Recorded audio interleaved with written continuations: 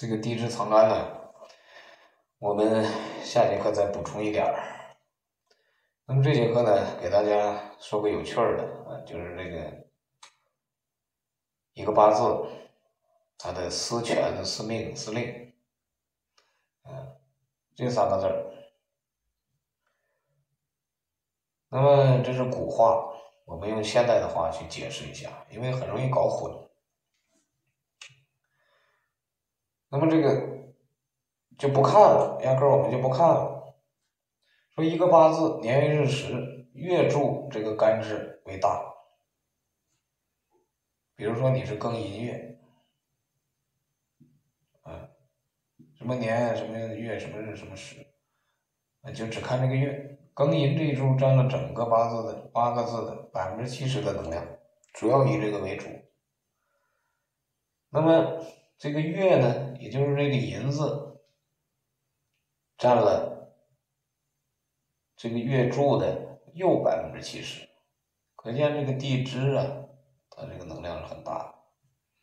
在天成象，在地成形，这个硬是形成习气了，这个习惯打死你也不招，也不改，就这样了。那这辈子，所以就是你的命，你的环境。你周围一切业所造成的果，你就要承受。想化，慢慢来，很难。那么这个寅，它的本性寅卯属木嘛，这就是立法机关，它是全局说了算，甚至定你整个一生的命运走向，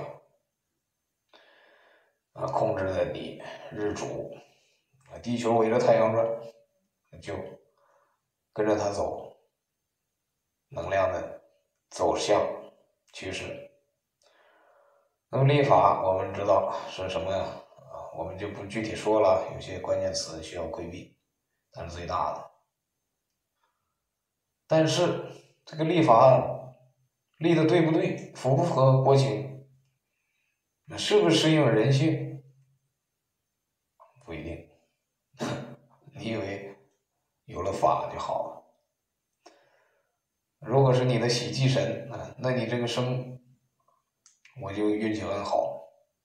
哎，喜用神，如果是忌神，那我就生不逢时，怎么办呢？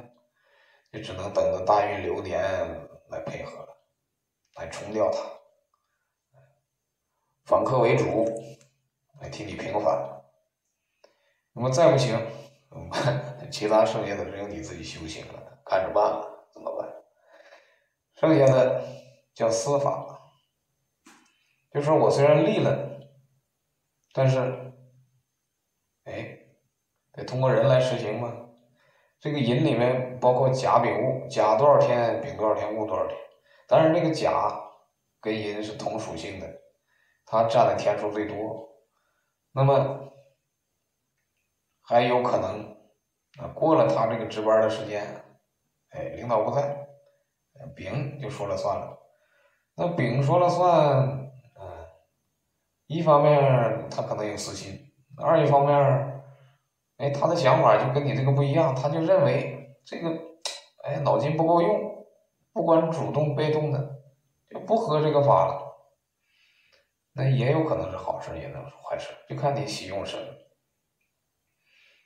如果你是丙日主，身弱。尤其是男性，那基本上可以断定，那么这个他就更向着你啊。